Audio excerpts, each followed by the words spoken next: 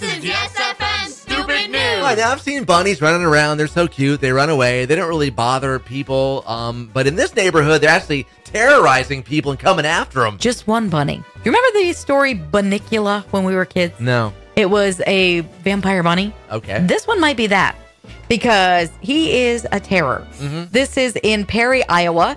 A guy there was recently attacked by the rabbit. She says the black bunny has been terrorizing her neighborhood, lunges at her neighbors, not just her. It jumps up and bites me, she said recently. And I was like, I just got bit by a bunny. Bunny also bit a teenager back on May 5th. Finally, the city sent someone out to capture the bunny, Uh-huh. and it was located to a wastewater treatment plant. Oh.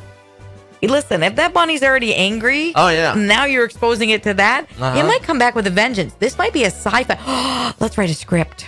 Let's go. Okay, now we've got um th- these people. They they let their golden retriever dog control their life. How so? It's like when you use the magic eight ball. Uh huh. That's what they do with this magic golden retriever. I'm not really sure if it's magical or if they're just like, yeah, he's the dude.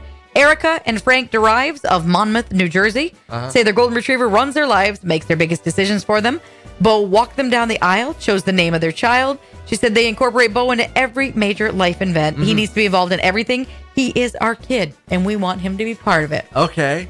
So they make the dog choose. Yeah, so I'm guessing, Yeah. did you put a bunch of names on like, you know, an Must index card, and then the dog walked up, and whichever, one it put one its paw on first, or or, from picked- or whatever, or yeah. picked up and, and bit into first. Now Yeah. it's you know okay, Like the magic conch at SpongeBob. yeah, or your magic eight ball. Yeah.